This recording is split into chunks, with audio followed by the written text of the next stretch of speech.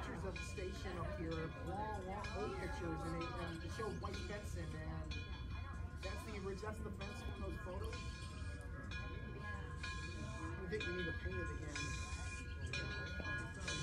Well, although it does need we have to, although it does need a hammer on some places, there's other places that board that we use.